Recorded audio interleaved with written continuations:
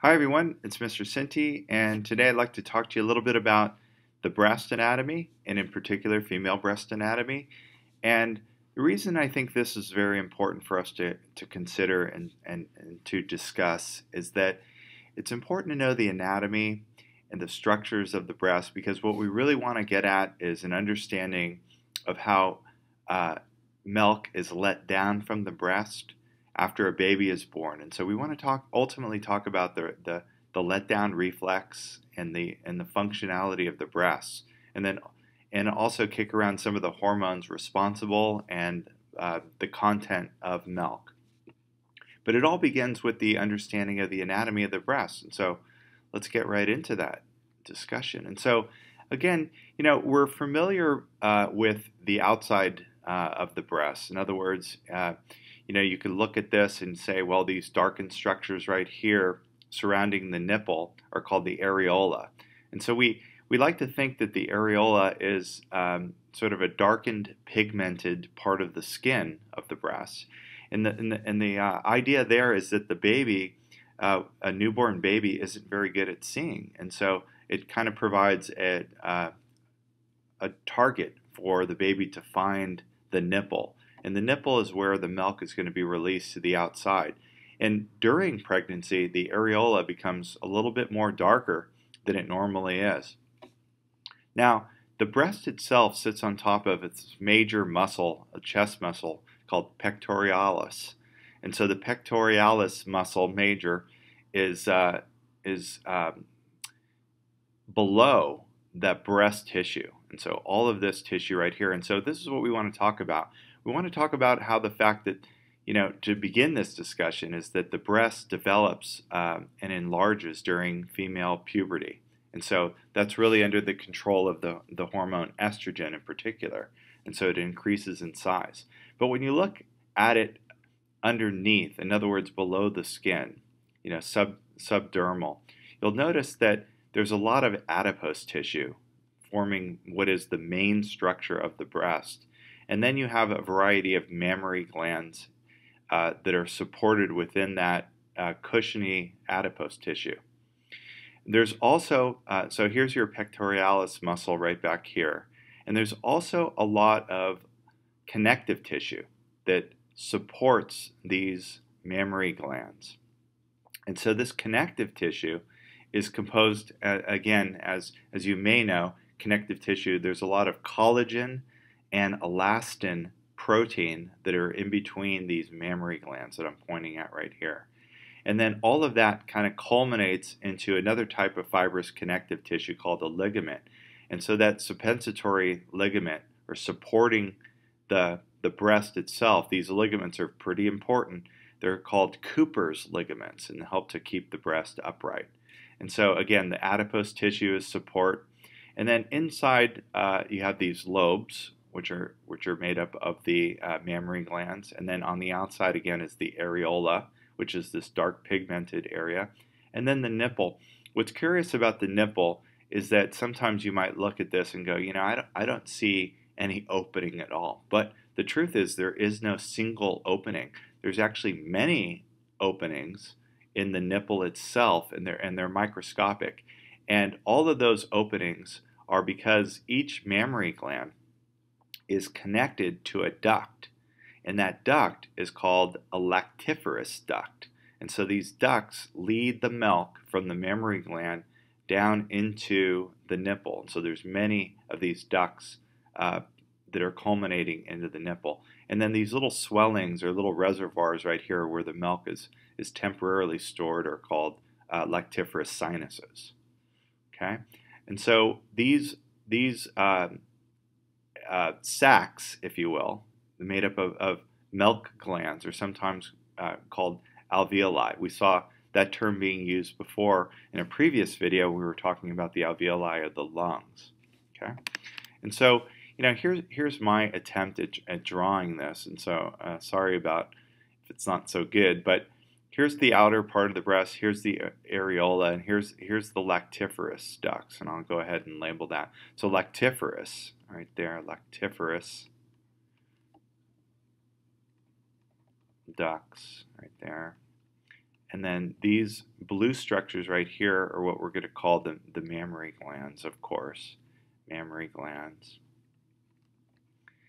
And then, so the milk is being produced in the mammary glands and it's traveling down the lactiferous ducts and then ultimately out the nipple. This darkened pigment is the areola. And so what I wanted to emphasize is this sort of red tissue right here. This, the glands themselves are surrounded by a type of tissue called myoepithelial.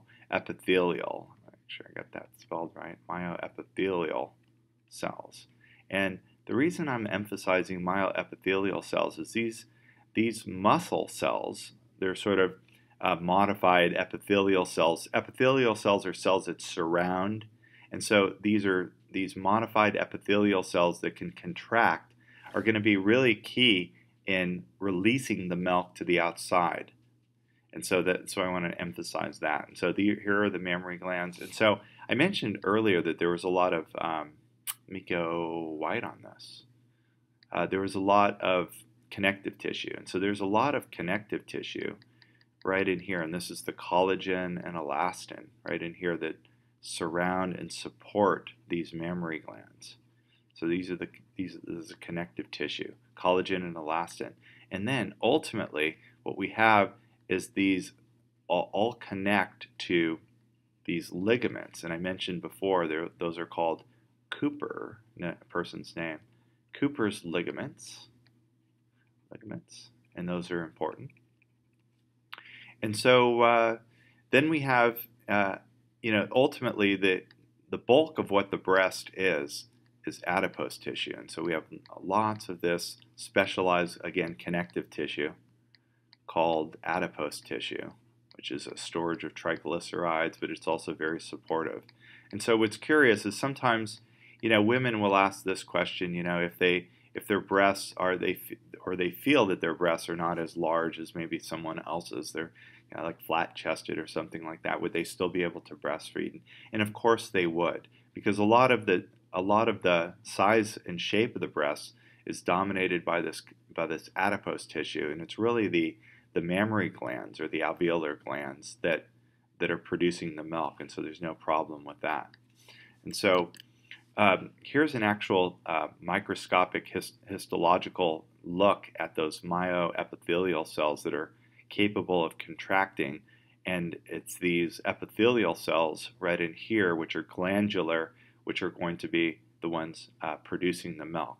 And because the milk travels in the lactiferous duct to the outside of the body, it's considered to be an exocrine gland. And so the mammary gland is an exocrine gland. And so here you can see um, the adipose tissue, and here's a here's a look at the Cooper's ligament right there. And so these are the these are the suppensatory uh, ligaments that are holding the breast up.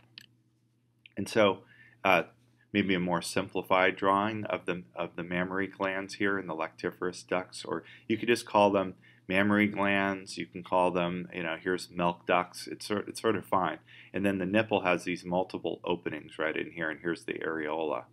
And so what's interesting is the, the breast, I think we know this, is found in both uh, sexes, but um, the real role of it is that it, you know, the, these these glands are dormant in men, but they they become active in women. Um, and they become a, capable of producing milk after the baby is born. And so uh, that's its main function is to produce milk and to nourish a newborn baby. And so developmentally, I find this kind of interesting. This is uh, again a look at the glands. This is what the the breast would look like in a, uh, after a mammography, and so that's an X-ray examination to look at the at the breast. It's usually used for screening to make sure that there's no uh, breast cancer, and, and uh, I actually want to kick that idea around a little bit, breast cancer.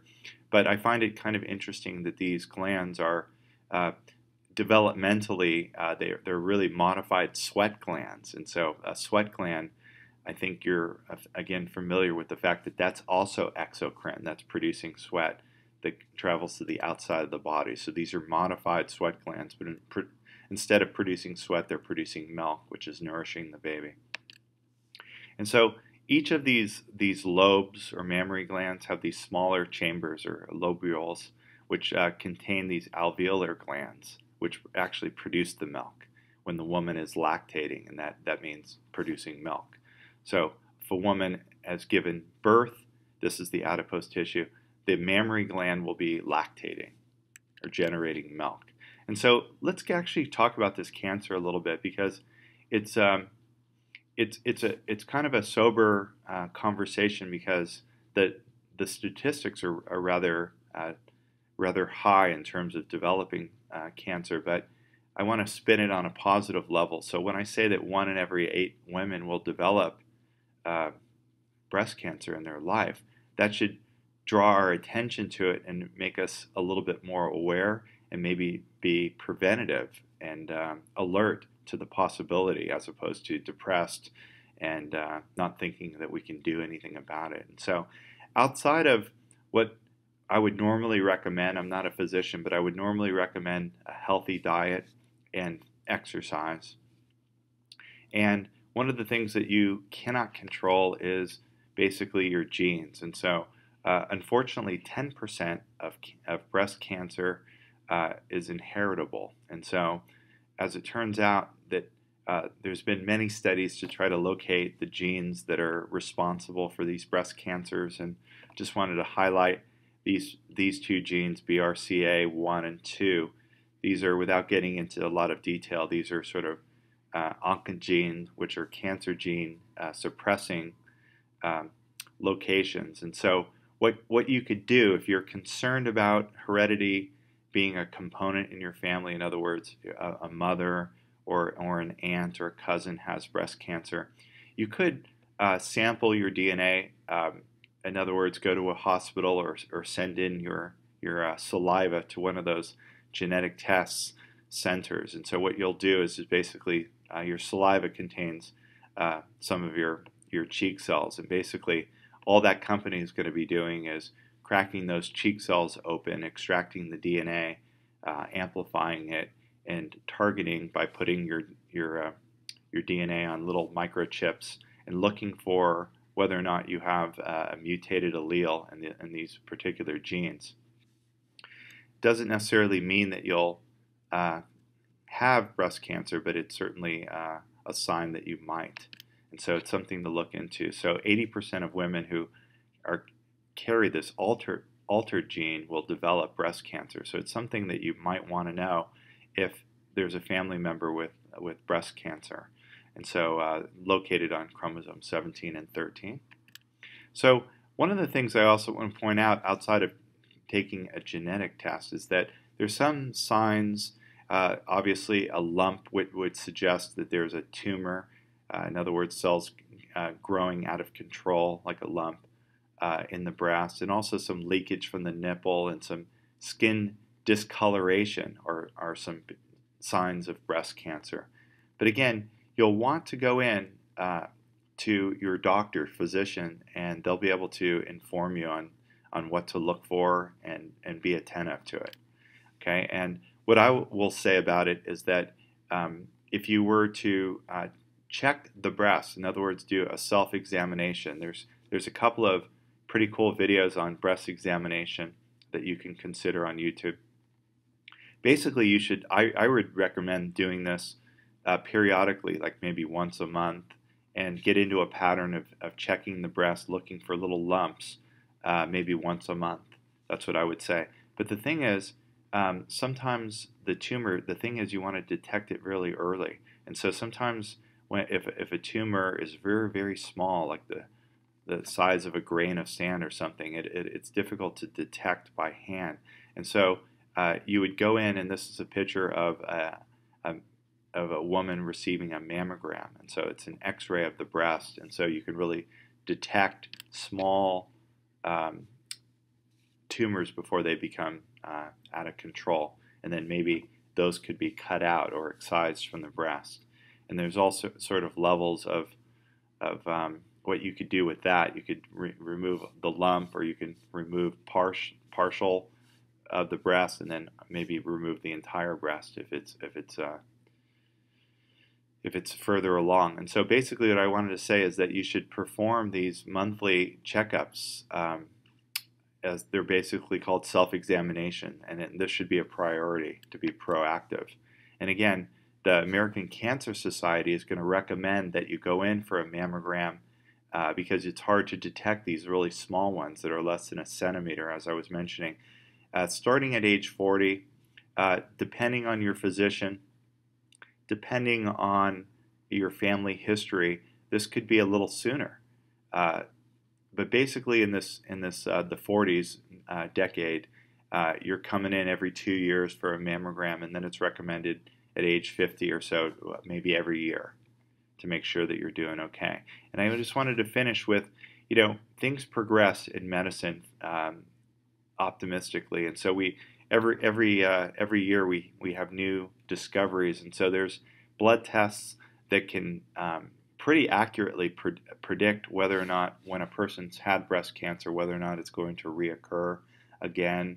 Uh, and we're trying to develop uh, blood tests to even detect uh, cancer early on in the breast in women. And so I hope this was helpful. I hope I was informative in learning a little bit about breast anatomy and a little bit about breast cancer. But I really hope that it's it's really just an invitation for you to explore and read more about uh, the breast and breast cancer. There's there's so many uh, sites on the internet that will discuss breast cancer because again, it's such a big deal, and um, maybe someday you'll want to participate in fundraising um, to uh, raise money to prevent uh, breast cancer and to treat breast cancer in women who have it. So hopefully that's inspiration. So thank you for watching.